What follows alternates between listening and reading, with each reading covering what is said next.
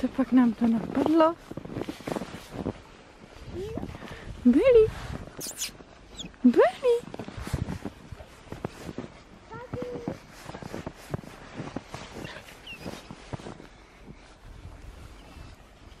Během večera.